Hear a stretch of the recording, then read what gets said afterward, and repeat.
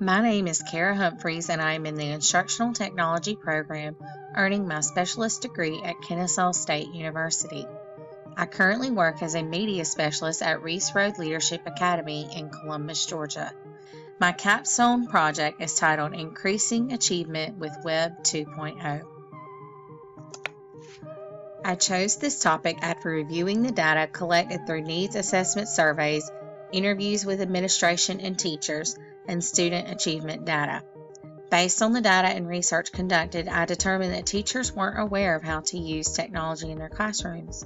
In effort to increase student achievement and student engagement, I decided to focus my capstone project on increasing teachers' knowledge on the utilization of Web 2.0 tools for instruction as well as for instru- informal assessments. I also plan to teach them how to organize blended learning environments in their classrooms. Throughout this project, I plan to work with teachers to increase their knowledge and use of Web 2.0 tools for instruction and assessments. I have planned three sessions of professional learning to expose teachers to different types of tools that can be implemented in the classroom. I will also share the research behind these tools with teachers and staff. My plan is to administer a survey at the beginning of the project and a few more throughout to monitor the use of technology within the classroom. I will also administer a survey at the end of the project to determine how teachers were impacted and what changes I should make for the next school year. The capstone project objective is by the end of the school year of 2019, which is in May 2019, RRLA teachers will increase the use of Web 2.0 tools into weekly lesson plans by 25%.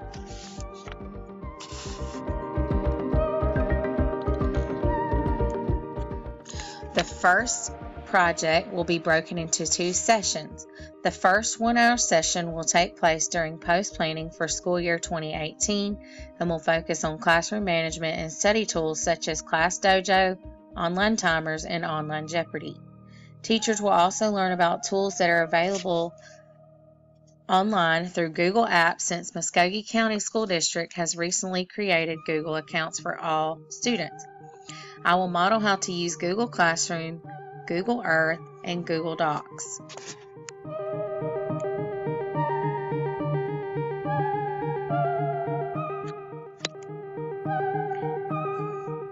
Teachers will have the chance to explore the tools I've introduced to them during the training through a scavenger hunt given to them on a Google Doc.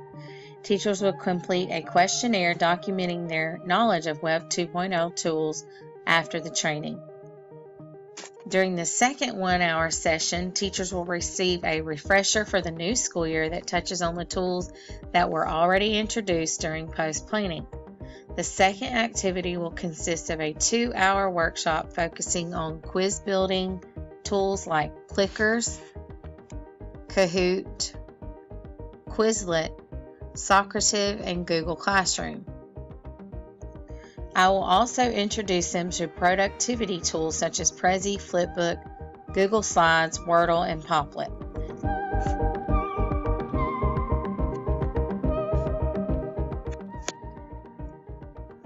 The third activity will be a two hour workshop focusing on virtual learning environments and social networking in the classroom.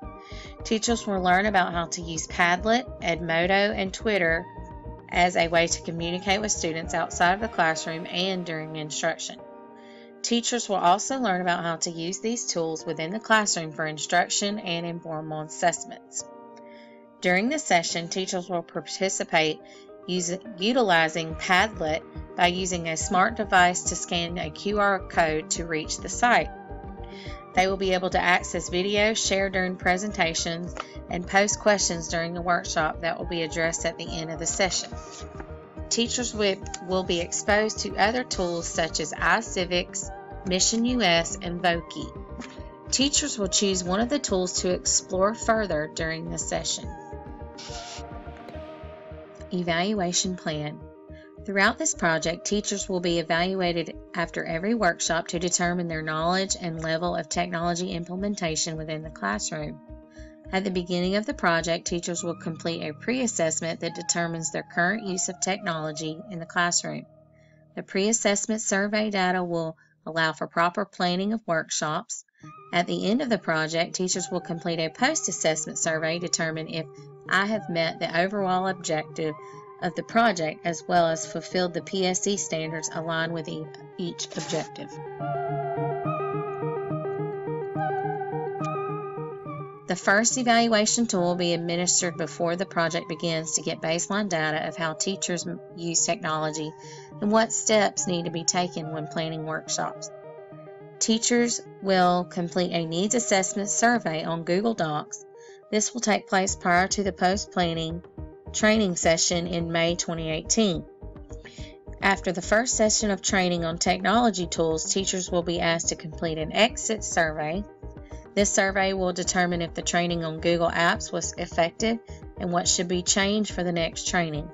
This will take place in May 2018 during post planning. The second evaluation instrument will be that will be used will be a 321 exit ticket. This form will be created on Google Sheets and take place in October 2018. This document will help me understand three things that the teachers learn, two things they will commit to using this school year, and one thing that they still want to learn more about. I will use these exit tickets to determine which teachers need more assistance. They will also help me in planning model lessons for those teachers. I may also plan another workshop based off of the information received from the exit tickets. At the beginning of the third workshop, I will use Plickers as an anchor for the workshop as well as an assessment tool to determine how social networking tools and virtual learning tool environment are being used within the school already for instruction. This will be an informal assessment that will allow me to quickly see who's implementing these tools into their classroom already. Throughout the third workshop, teachers will be required to participate in the workshop through Padlet. This tool will be an informal observation which will allow me to see who is able to use this virtual learning tool. This will also give teachers the chance to post questions that they have during the workshop. These questions will also help me understand the level of understanding among the teachers. The final evaluation method of the project will be a post-assessment survey using Google Docs. This will take place at the end of the school year 2018-2019 in May. This survey will document how often teachers are using technology in their classroom. Will also determine whether teachers are planning engaging lessons using Web 2.0 tools. The capstone proposal implementation took place during the school year 2018-2019. Some things that were in the plan have been modified. I was able to implement some of the elements in the proposal, but had to change some due to time constraints.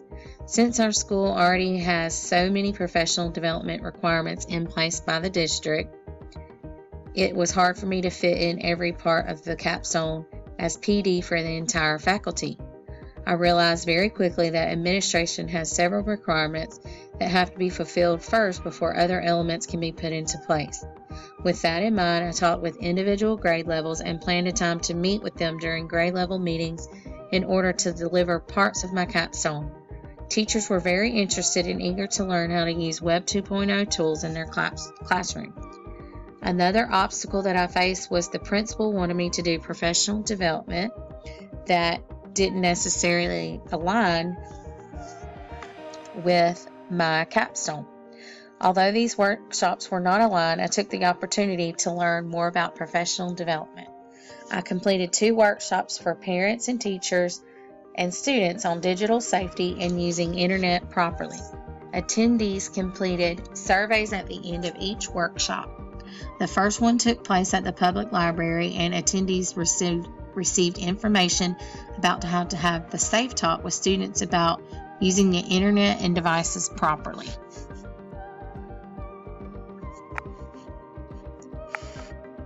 This workshop was very informative for parents and teachers because they learned about dangers of the internet and how to ensure safety among our students. They also learned about apps that are safe for student use. The second professional development was titled Be Internet Awesome. This workshop gave information about how to set limits on devices and focuses more on internet etiquette. This workshop took place at our school. Our school is in the process process of becoming STEAM certified, so my principal proposed that I plan a PD for teachers on how to implement STEAM in the classroom. I have attended several workshops this school year for STEM and STEAM.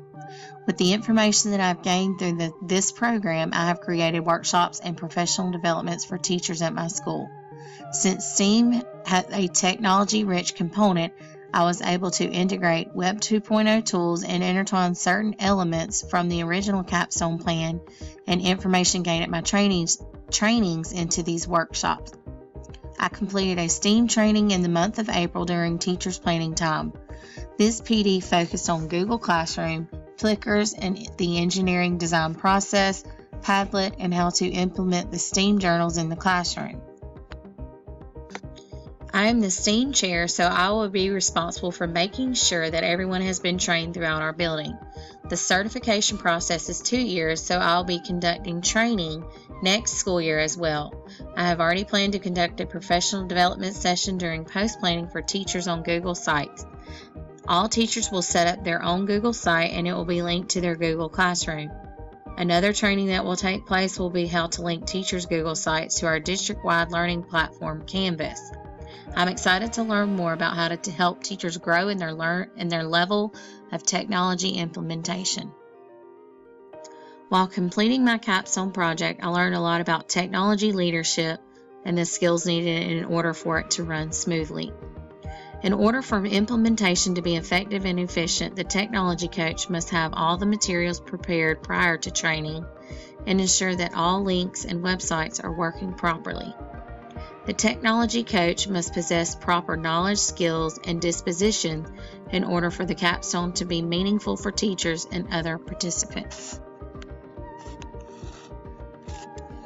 The technology coach must be knowledgeable about grade level content standards being taught so that the capstone addresses those standards.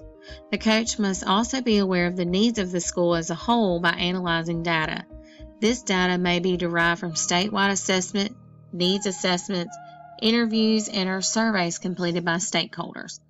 Coaches must share this information and discuss results with stakeholders in order to ensure that everyone shares the same vision for educational technology. After the vision of our school was established, I used the technology standards, content standards, and needs of the school to plan my capstone project. I incorporated instructional design to design the workshops. Along with knowledge of standards and data, the technology coach must possess a certain skill set in order for the capstone to be carried out properly. To ensure effective planning and professional development, the coach must know how to plan PD using appropriate pedagogy of teaching and learning. Teachers need guidance and modeling just as students do. When presenting my capstone, I use modeling and demonstration videos so that teachers understood the content. I also allow teachers to discuss and ask questions. Another skill that teach that coaches must have to is being able to troubleshoot with a variety of Web 2.0 tools. The topic of my capstone was using Web 2.0 tools in the classroom. In order for the teachers to understand how to use these tools, I had to train myself how to be fluent with various online tools. These included quiz building tools, presentation tools, management and study tools, and social media for the classroom. To ensure that I was able to answer teacher questions about these tools, I explored each one and learned how to solve issues when they arose. When presenting my capstone project, I realized that I needed to have an energetic disposition for my PDs to be effective and impactful.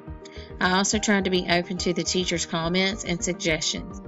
When teachers had concerns about how to implement Web 2.0 tools in their classroom, I gave them suggestions. I also offered to model lessons and co-teach with them as well. This experience has made me stronger as an educator and a better resource for teachers in my business. Here is my copyright acknowledgement page. All of these resources were used to plan my capstone project.